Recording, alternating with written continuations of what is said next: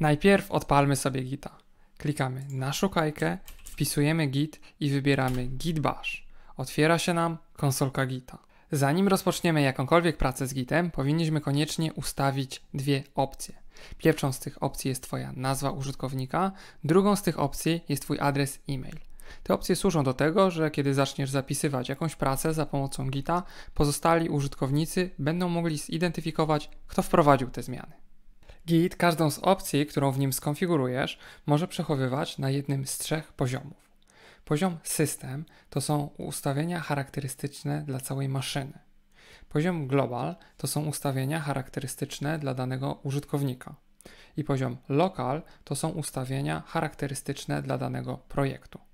Czyli jeżeli chcesz skonfigurować nazwę użytkownika i adres e-mail, to możesz je sobie skonfigurować na poziomie global, czyli dla Twojego użytkownika, a dla jednego czy dwóch projektów możesz sobie na przykład zmienić tylko w tych projektach tą opcję. Jeżeli na przykład będziesz chciał w tych projektach korzystać z adresu e-mail na przykład pracowego, a nie prywatnego. Więc my teraz skonfigurujemy to sobie dla poziomu global. Najpierw piszemy komendę git config Następnie piszemy, na którym poziomie chcemy zmodyfikować dane ustawienie, czyli my chcemy zmodyfikować na poziomie global dla danego użytkownika. Teraz piszemy nazwę ustawienia, które chcemy zmodyfikować. Chcemy zmodyfikować nazwę użytkownika, więc wpisujemy username user.name, a następnie możemy podać nazwę użytkownika. Jeżeli ta nazwa będzie zawierała spację, to możemy opakować ją w cudzysłowy.